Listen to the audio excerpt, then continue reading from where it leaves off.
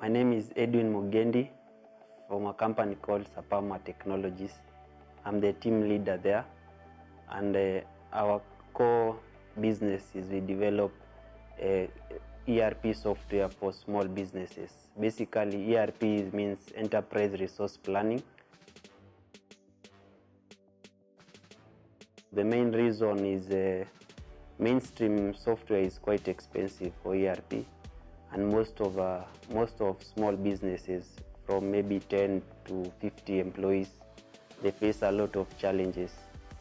So we've developed a, a, a cloud-based software to automate, streamline, and simplify their processes.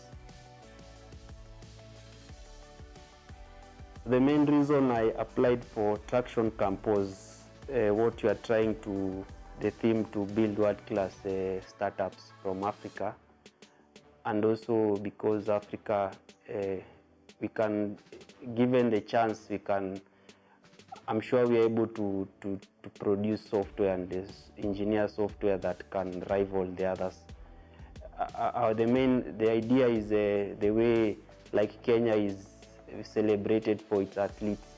It would be a good thing if even Kenya would be celebrated for its software.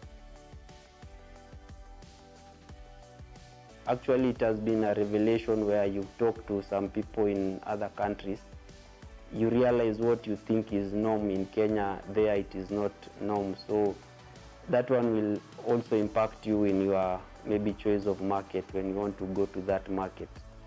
You understand what you understand here, what works here, gen, what is generally accepted here, might not be the case in the other side.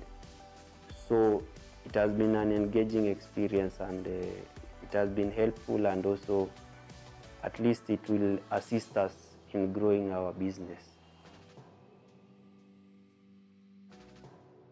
It will help us uh, refine our value proposition to our customers. It, it helps us rethink exactly what we want to do, also our core, what, what, we, what, what is it that we are in business, uh, like when the sessions were saying about the golden circle.